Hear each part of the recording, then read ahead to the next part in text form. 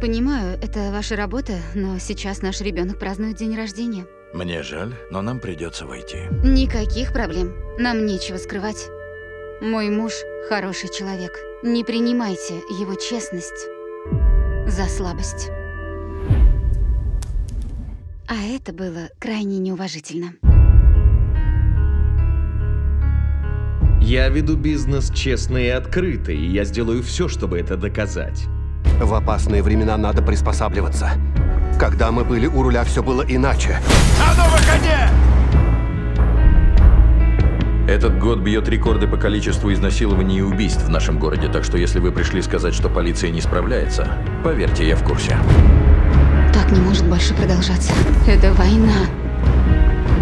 Вы уже два года под лупой изучаете меня и мой бизнес. Скажите, кто хочет нам навредить?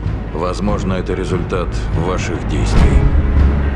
Я всегда выбирал честный путь. Для меня не так важна цель. Средства ее достижения гораздо важнее.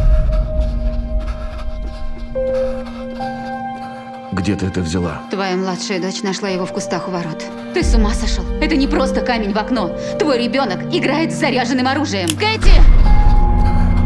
Обвинение состоит из 14 пунктов. Кажется, мы зашли слишком далеко. Так больше не может продолжаться. Если эти парни кого-то пристрелят, это будет конец всему, что мы создали. Против тебя выдвинуты серьезные обвинения. От мошенничества до уклонения от уплаты налогов. Эта неудача тебе помогала все эти годы. Это была я. Я не желаю иметь к этому никакого отношения! Если тебя пугает прыжок, значит в этот момент и надо прыгать. Иначе ты всю жизнь будешь топтаться на одном месте. А это не про меня. Самый жестокий год. Смотрите в кино.